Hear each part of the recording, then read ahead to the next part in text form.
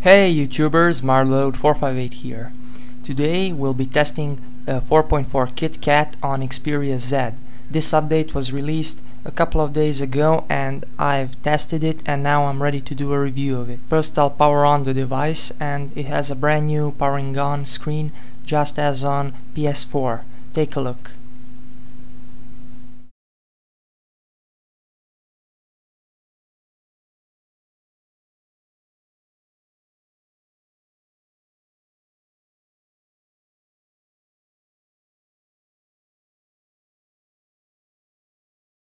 We got a couple of changes on the lock screen and now you can unlock the device simply by swiping anywhere on the screen.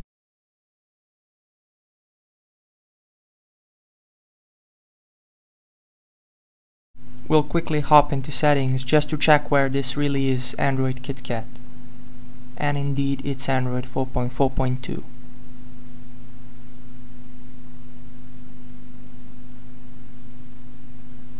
I'll show you a build number later on just for the record.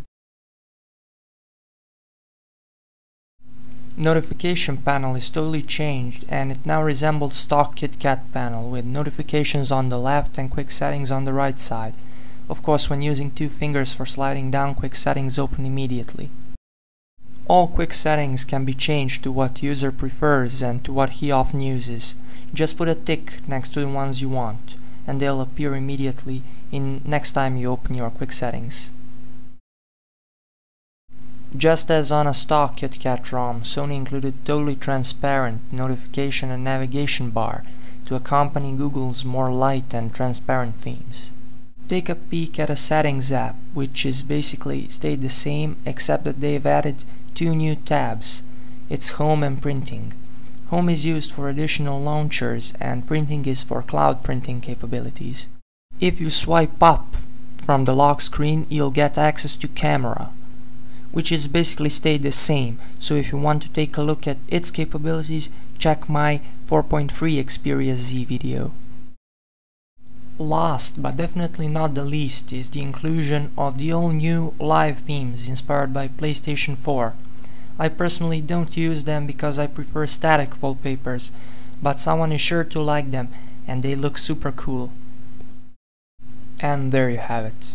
The new KitKat update was a much needed refreshment for the already aging Xperia Z. It improves its speed, makes it look super cool and fresh, and it's great for bragging to friends that you have the latest iteration of Android. Let's just hope it's not the last for our beloved phone.